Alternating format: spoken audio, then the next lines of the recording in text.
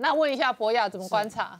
我觉得刚刚前面在谈的这个中共哈立法要惩戒台独，以及现在的这个国会的集权的种种行动，其实它是两套内外的剧本了。外面的剧本其实就是中共要找更多理由来正当化他在台湾以外的地方任意抓捕台湾人的资格。嗯，那呃，如果大家还记得的话，包括一年多前的这个复查被失踪的事件，一直到现在，复查的家人其实都还没见过他嘛。嗯，那他新增的这个反台独法，当然就是要让这个欲加之罪何患无辞，再加上更多的欲加之罪一个方式。但是另外一个在台湾内部的这个立法院在弄的事情呢，其实我觉得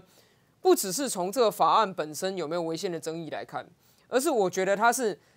立院集权的首部曲。嗯，就是立法院现在蓝白掌握了多数之后，他是有意的要把国家的各种权力往立院集中嘛。嗯。像这一次的立院国会集权法案里面，首先第一个，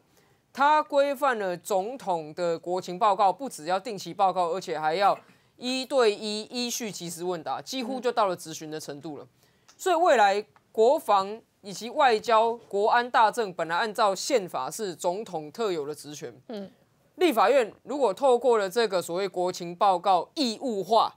那有可能它会变成。把总统变成自己下级机关嘛，哈，嗯，那另外他的这种所谓的呃反质询要罚钱呐，然后这种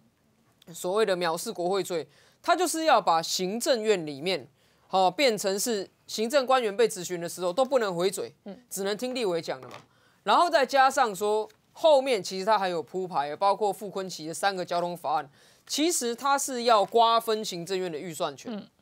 然后接下来考试院哈。考试院其实有一些委员任期要到了，赖清德总统已经提名放在立法院，但立法院是完全置之不理，完全不审。嗯，不审考试委员的手法，未来有可能复制到不审监察委员嘛？嗯，甚至今年十月份有七个大法官任期届满，嗯，有没有可能复制到连大法官提名都搁置不审，用这个人事同意权把考试监察甚至司法院直接掏空掉一半？嗯。这个也是立法院未来有可能会上演的剧本啊。所以你看这个剧本，如果首部曲现在是国会集权法案，后面一路这样演的话，到最后变成是我们的宪政的所有的权利会完全集中在立法院一院，而立法院一院里面一百一十三个委员，其中又只有六十二席可以掌握这样的权利。好，所以我觉得这这件事情反而是比这个国会法案本身啊。更让人担心的，嗯，所以今天赖清德总统他的讲稿哈，其实如果我们仔细看的话，他是讲的很清楚啊，因为蓝白一直在讲说啊，民进党以前主张如何如何如何，嗯，但是今天赖清德所讲的就是说，比如说到国会去啊接国情报告，甚至接受质询，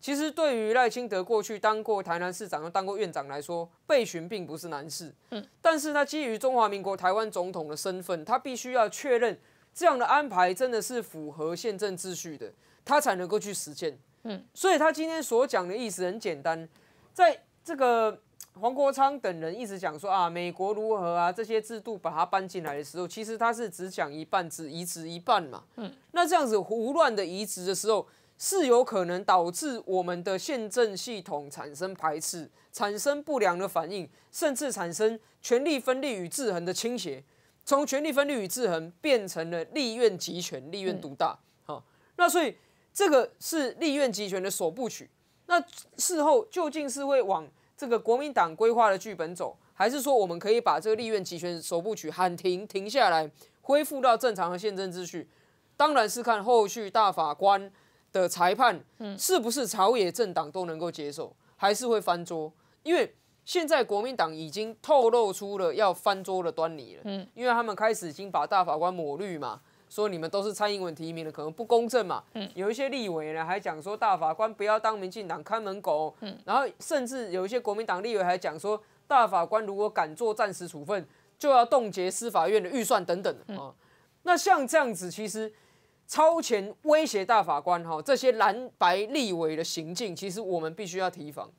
如果未来大法官的裁判出来，朝野政党有任何人不接受，其实他就是对我们的宪政秩序要翻桌了嘛，他就是不玩了嘛。那如果是这样，如果未来蓝白立委不接受大法官裁判的结果了，我想就是公民力量必须要站出来，让这些意图翻桌、让这些要诋毁大法官的立委必须要付出政治代价。好，我们稍后回来。Hello，大家好，我是林官，我有全新的官方个人频道，叫做林官说说看，欢迎大家跟我一起来说说看，也欢迎大家订阅、分享，按下小铃铛。